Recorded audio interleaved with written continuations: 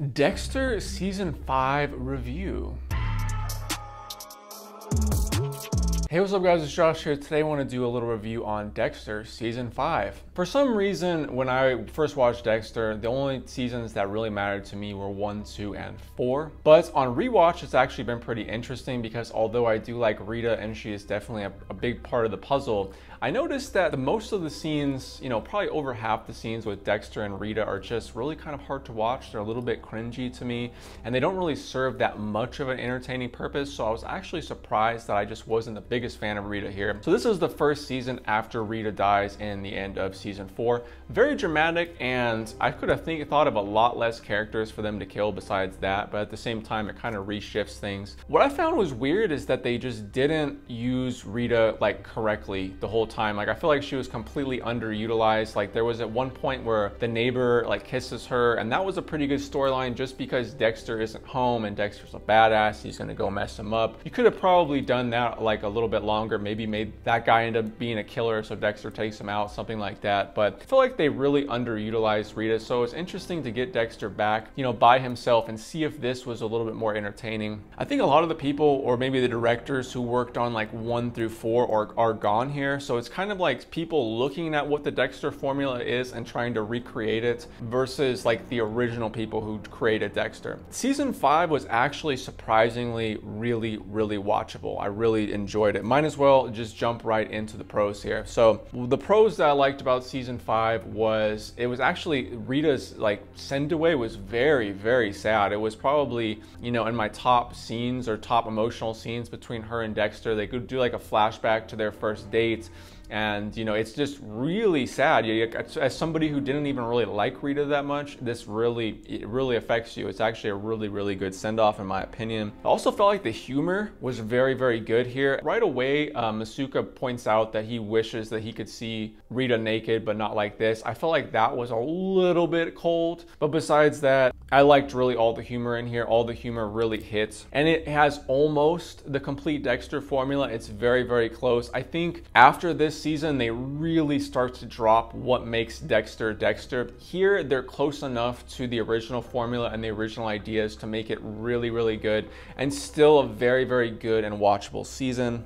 It is very entertaining. It is very well paced and it is very watchable. I think the only episode here that was like a no, not really a throwaway episode, but just an episode where Dexter just does family stuff and he doesn't really focus on the main plot was when Astor comes with her friend to Dexter's home and then they're drinking and then she meets Lumen, you know what I mean? And that was actually a pretty interesting as far as side episodes go, I really don't like them, but that was actually one of the better side episodes and it's actually unfortunate that you couldn't really push past that, maybe have like Julia Stiles ends up being Dexter's main girl and then they kind of Astor and her slowly start to bond, that would have been actually pretty good. You know what I mean? This one was very, very watchable, probably up there with number two as far as how watchable it was for me. So as far as the cons in this season, the glaring big con that everybody has, and I kind of have it with this one as well, is you just don't get a satisfying ending to anything in the story. Everything in this season is made just very temporarily. It's made to tell a story for this season only and wrap up at the end of this season.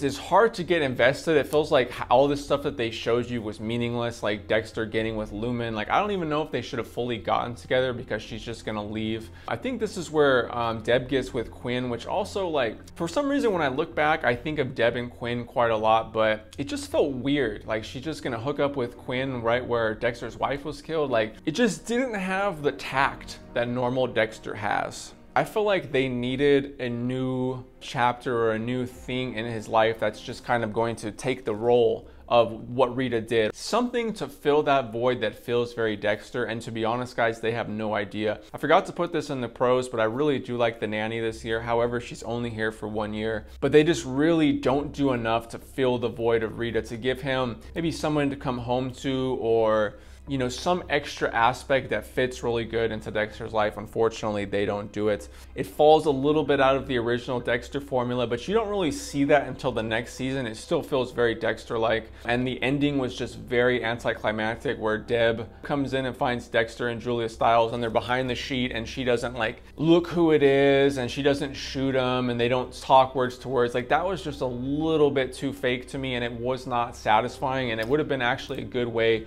for Deb to discover what Dexter's secret is and to kind of get behind him because it seems like she's kind of behind the vigilantes as it is. But anyways, guys, if I was gonna rate this season, I'd probably give it like a solid eight. Uh, it was very rewatchable, especially with Dexter's because they're freaking 12 episodes. I, I hate that. They should have totally been 10. Most of the time, they're just a little bit fat on the extra stuff in the episodes for me. So this one was just super trimmed down. I really enjoyed it. It had some very classic Dexter moments. I highly recommend it. But anyways, guys, I got like a few episodes into season six and I just do not want to watch that crap. I'm just gonna be honest with you.